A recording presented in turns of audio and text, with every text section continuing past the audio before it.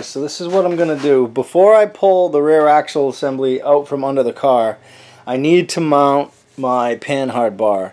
And I had ordered a Heim joint to run on the post that is already under the car. Well, the post, I say it's a bolt. You see that bolt up there? Right here? I, I bought a Heim joint, but it is yet to come in. So what I think I'm going to do is, I think I'm just going to run this bushing. I think I'm just going to run this bushing that I put on there. I need to cut this bolt off. And I have these brackets that I had bought at one point in time. I'm going to cut these, cut these down. And basically weld them onto the frame. So that'll be the mount for my my bushing for the panhard bar my other garage. So what I got to do is I'm going to measure the width of the frame and then I'm going to cut these two brackets down. So basically what I think I'm going to end up having to do is just kind of cut it like this and then down. These will sandwich the bushing. So these will end up this is the other the other bushing that I bought. I actually think these brackets were for these bushings. So I have two more of these brackets. So it'll just sandwich the bushing like that. So that's how it'll be. So panhard's going to come in this way. And that'll be able to pivot. So instead of waiting for the instead of waiting for the Heim joint to come in, because truthfully I don't know when it's going to come in, I ordered it several days ago and there's no update on my tracking or anything and I can't find anything locally, anyone locally that has them. So I'm just to use what I have and it'll be just as good as the Heim joint. Maybe better.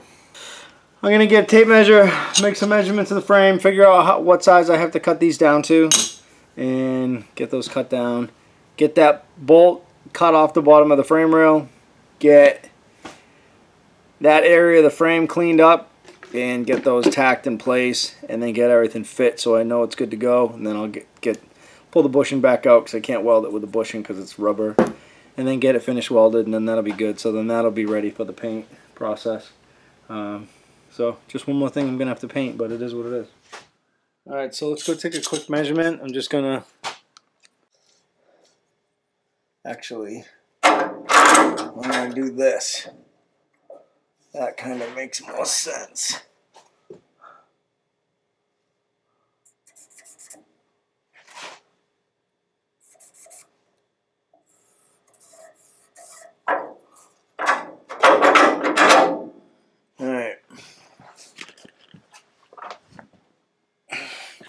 Now I don't really know if there's any right or wrong as far as the height or the length of these brackets. But I just kind of drew out a quick measurement, a real quick measurement, and I'll show you. So something like that.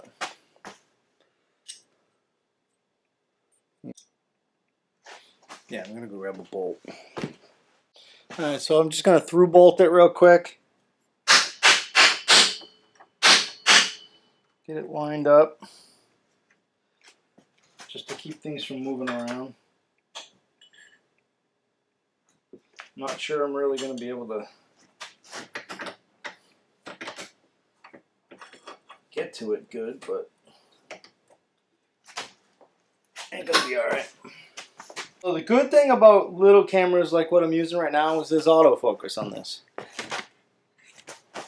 The bad thing about the other cameras that I'm using, this style camera, there is no autofocus. It's a really good camera, but there's no autofocus.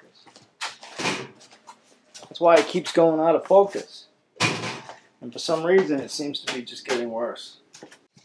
So I have to replace the bump stops under the frame. And I had bought like an old Rancho suspension bump stop kit off of eBay for like 10 bucks. I bought them, I bought the whole kit just for these two. But it comes with these as well. and then another couple. But I'm, I don't really need these, at least at this point. I don't know as if I'm even going to need the other ones, but car had bump stops on it, and it's just drilling two holes and uh, threading, threading, uh, putting a bolt into the bottom of the frame rail. So it's going to do that at some point. All right, so let's get let's get this going. I don't want the safety police calling me out.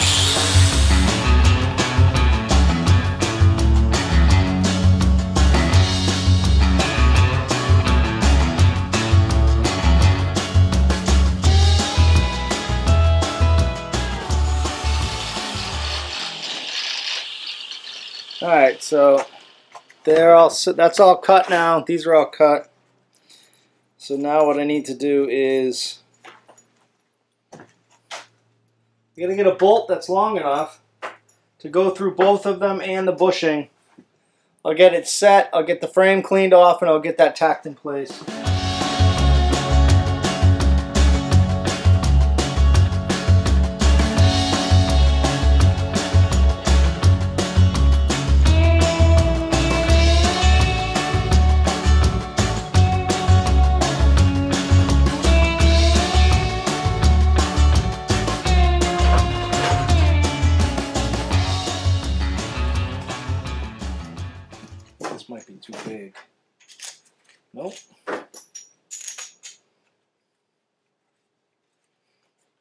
Inside the bushing. I think it'll fit, it's just real tight. Just kind of open up these real quick.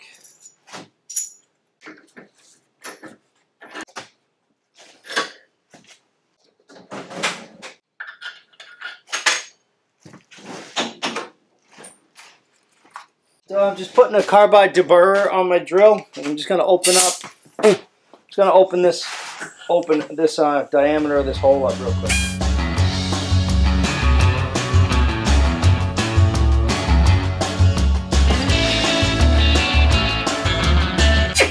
Trying to go in and out, nice and level.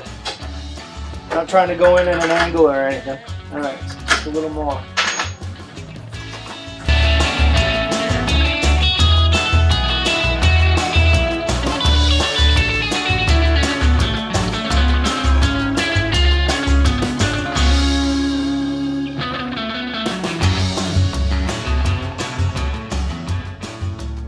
So now what I need to do is I need to get these brackets bolted onto panhard bar like so. So that'll be my mount. What I need to do now is get the bottom of the frame rail cleaned up. I need to cut the post off of that frame rail. So let's go do that real quick. Cut that post. I'll clean up the bottom of the frame rail real quick. Fire up the welder. Get get the panhard bar tacked in place. Get get the mount tacked in place, and then uh, just make sure the panhard bar fits, and then we'll be good to go. Bring this over there so I can get that cut.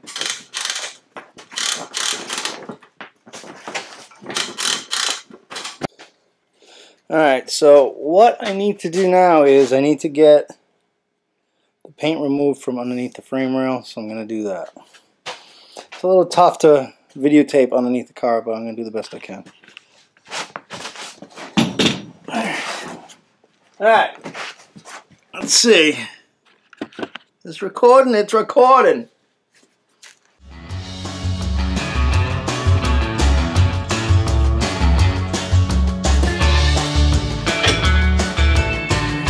First,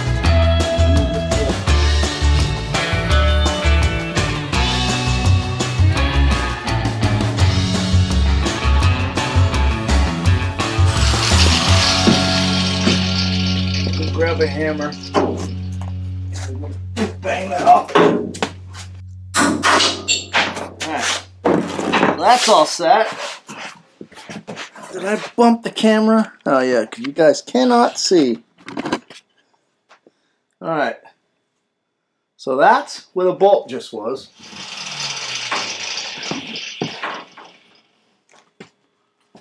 So that's where that is going to fall. Right there. I think what I'm going to do is spin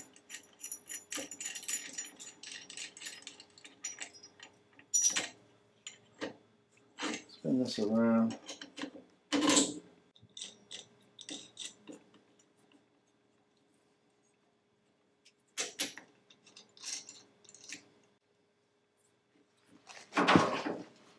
There we go. And then I'll just trim off the inside. I think I'm happy with that. I want to make, I'm going to stand up above the car. All right, what I want to do is I'm going to stand on top, up top, and then I just, I want to make sure the panhard bar is sitting where it's supposed to be sitting. And I know there are a couple of big washers that he had used for spacers.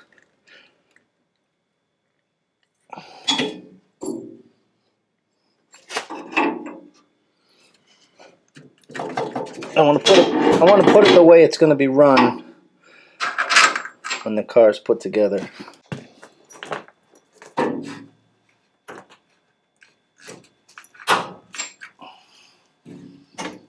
Right there.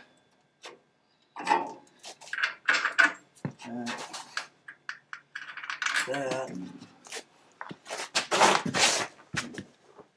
Oh, and this. This isn't the right nut. It's the it fits. It's the right thread. However, unknowingly, we took the nut that was on this originally and used it as the threaded bung at the end of the panhard bar for the bushing. That's okay. I'm gonna hold this up. That's where I'm gonna tack weld it. It's right there. So what I need to do is go get I'm gonna get a sharpie. I'm gonna grab the the welder and get the welder fired up. All right. So after, after the welder's running, so if you hear the hum, that's what it is. But after kind of thinking about this a little bit for another few few seconds, I realized that I can't mount it on the on the sweep of the frame rail? I can, but what I need to do is it needs to work at the same parallel as the rear axle. It needs to pivot perfectly up and down. So what I'm going to do is I'm going to mount the front tab. So I'm going to mount the front tab and then leave this other tab off for now.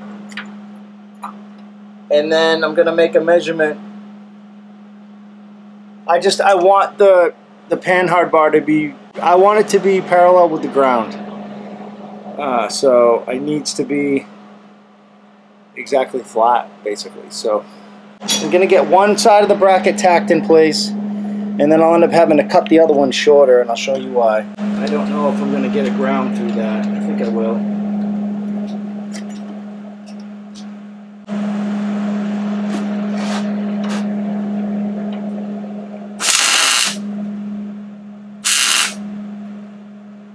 going to need to trim I'm to need to trim the height of this because it won't fit now so it's just to be a little bit shorter so what I need to do is measure the top of the from the top of the bolt to the bottom of the frame rail and then cut it off and then get this welded back up. I'm to do that real quick.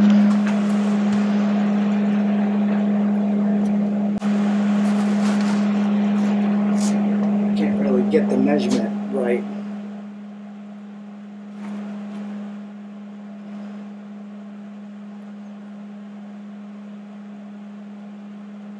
Seven eighths of an inch.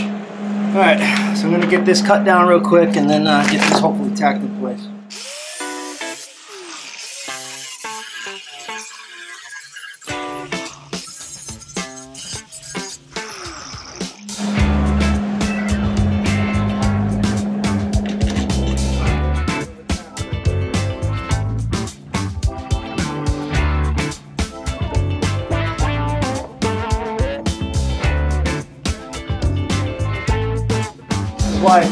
Help.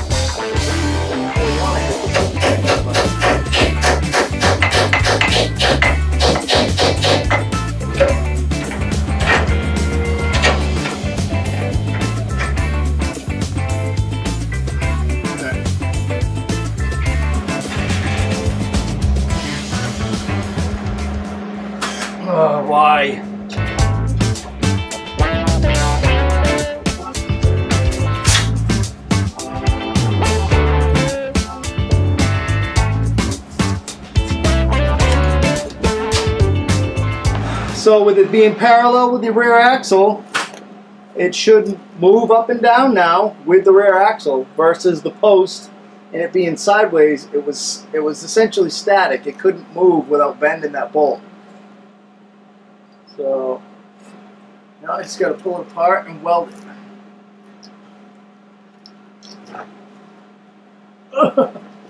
and the lock washer's doing its job.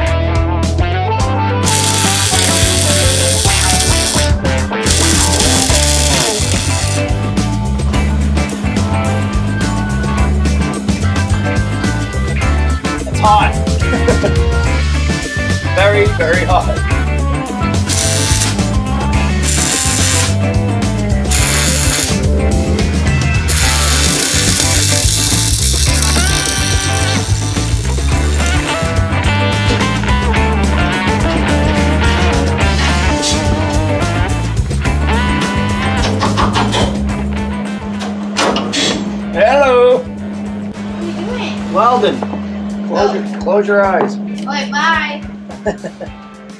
Love you.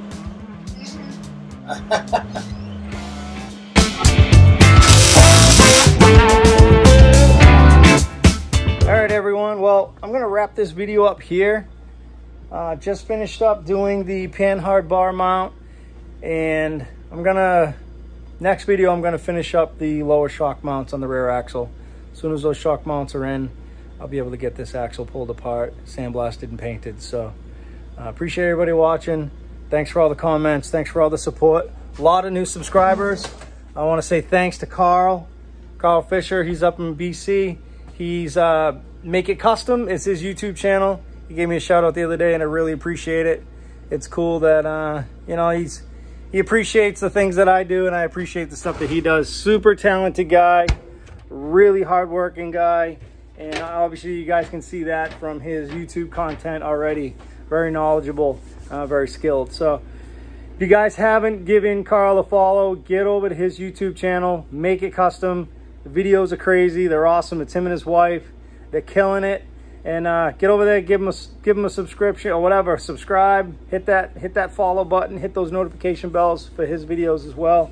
And thanks again for Matt down at Iron Trap Garage, giving me a shout out, telling everybody go over and check out Mike, see what he's doing. Uh, kind of a old school style hot rodder.